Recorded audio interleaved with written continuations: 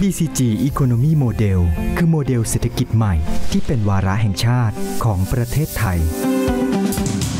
ลดเวลา ลดต้นทุน ประหยัดแรงงาน คือจุดเด่นของเครื่องเร่งกระบวนการแช่ และเพาะงอกข้าวเปลือกสำหรับการผลิตข้าวกล้องหางงอกคุณภาพดี ที่นักวิจัยไทย คิดค้นขึ้นเพื่อช่วยเกษตรกร แปรรูปเพิ่มมูลค่าข้าวอินทรีย์ โดยผลิตเป็นข้าวหางงอก ซึ่งมีคุณค่าทางอาหารสูง และขายได้ราคาดีกว่าการจำหน่ายในรูปข้าวสารขาวถึง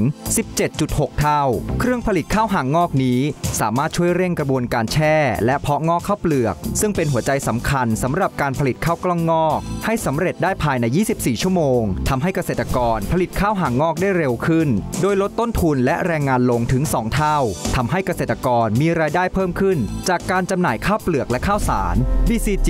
เพิ่มรายได้ให้เกษตรกร BCG เพิ่มคุณภาพชีวิต เป็นมิตรกับสิ่งแวดล้อม